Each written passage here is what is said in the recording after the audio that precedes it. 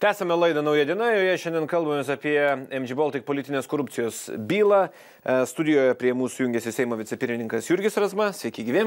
Sveiki. Nuotoliu bendrausime su Liberalų sąjūdžio e, frakcijos seniūnu Eugenijumi Gentvilu. Sveiki, gyvi. Labadiena. E, pone Razma, opozicija dėl to kelia daug klausimų. Mes irgi iškelkim. Jūsų koalicijos partneris kaip juridinis vienetas dabar yra teistas. Kaip į tai reaguojate? Tai žinoma, iškelia tam tikrų moralinių klausimų, bet e, nu, vis dėlto šiuo atveju mes turim e, vertinti du bent jau dalykus. Tai, kad praėjo daug laiko nuo to momento, apie aštuoneri metai, na, negali partijai amžinai užkabinti tokios nešvarios partijos etiketę. Tuo labiau, kad ryškiai pasikeitė ir partijos lyderiai, ir veiksmai. Na tikrai dabar neliko tokių pas juos e, Seimo narių fondų, kur, kur anksčiau galėjom stebėti, ar e, tokio kažkokio išskirtinio šmežavimo kai kuriuose žiniasklaidos priemonėse. Na, e, tik ir, ir tikrai aš ne, neturėčiau nemenkiausio priekaišto ir kokių neskaidrumo įtarimų dabartiniai lyderiai Viktorijai Čmilitai Nilsen Tai nu, mes tikrai neturim ypatingo pagrindo kažkaip dabar čia reikšti priekaištus. Tuo labiau sudarydami koaliciją mes juk žinojom, kad vieną gražią dieną bu, gali būti ir neįgiamas teismo sprendimas tos partijos atžvilgių. Tai jeigu jau kažką galvojom, tad, tai tada reikėjo galvoti. E, kyšiai byloje buvo ne tik e, materialūs, buvo ten ir darybų momentas, Vytauto Gapšio aišku labiau, bet e, pone Gentvilai dar kalbant ir apie ten kai kurios interviu, kurie kaip nematerialūs kyšiai buvo įvardėmi, kaip tai keis rinkimų kampanijas jūsų akimis? Nemanau, kad tai keistų.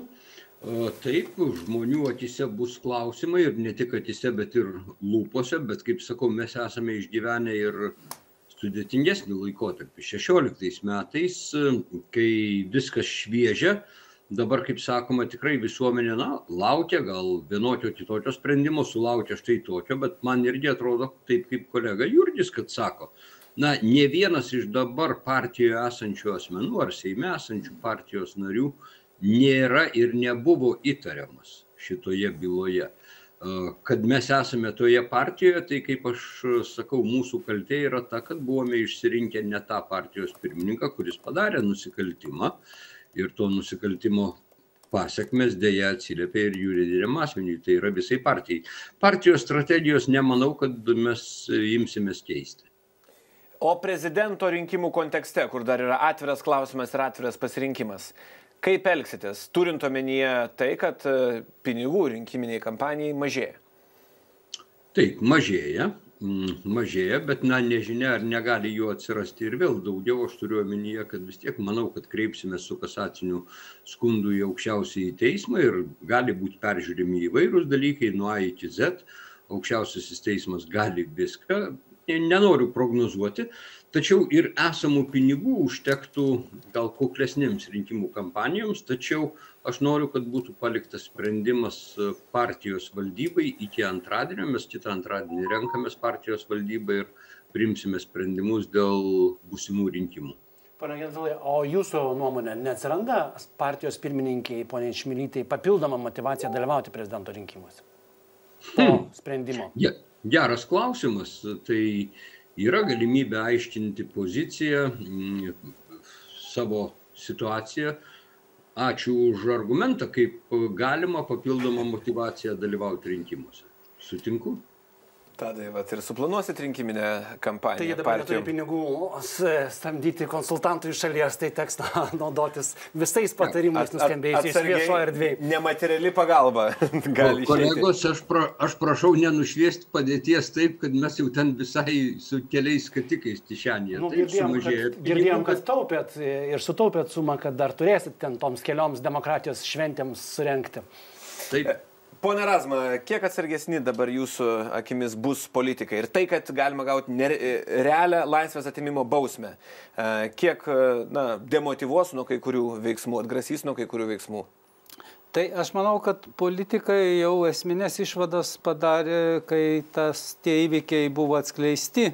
Gal jau buvo pamiršę? E, Na, tada juk darėm ir įstatymų pakeitimus ir e, ten dėl politinių kampanijų reklamų įrašėm privalomą tą fiksavimą įkainių fiksuotų e, ir, ir, ir, ir kitus dalykus reglamentavom, kad būtų mažiau tų, tų visokių galimybių tartis, neskaidriai kažką.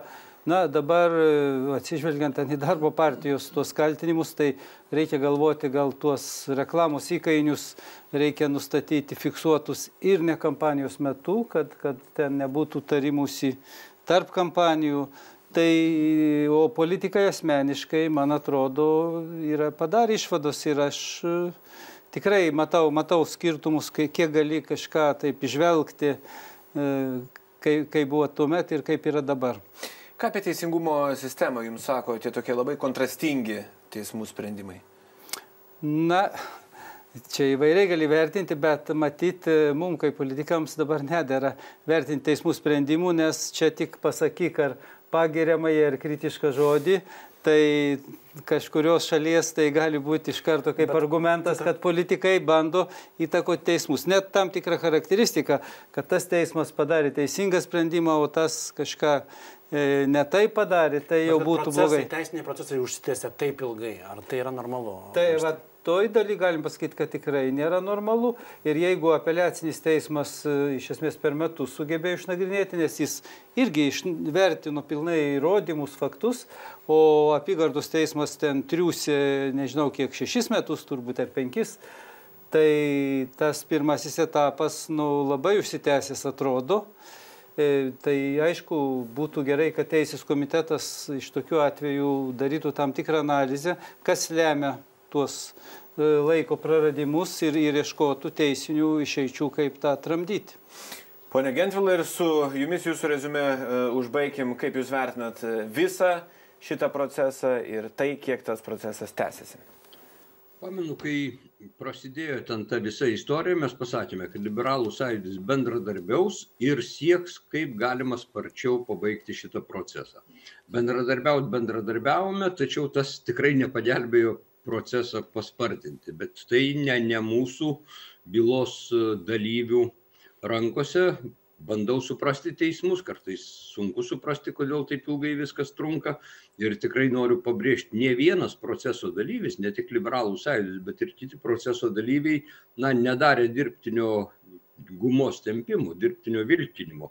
Tai tikrai reikia peržiūrėti baudžiamojo proceso kodeksą, gal galima rasti rezervų. Tai toks mano komentaras, o dėl teismų sprendimų nevertinant jų turinio, na, tas toks didelis kontrastas tikrai rodo, kad teismuose praktika nenusistovėjusi, matyti, kad vienu atveju visiškai išteisinami, kitu atveju, kitu atveju teisiami labai griežtai. Kągi, dėkoju visiems svečiams šiandien dalyvavusiems laidoje. Ačiū Tadai už kompaniją. Laidoje šiandien jau tiek. E, Pasimatysim jau rytoj 13 val. ir pabandysime e, pratesti įvairių šios bylos aspektų nagrinėjimą tiek teisinių, tiek politinių požiūrių. Likite įsijungę Lietuvos ryto televiziją.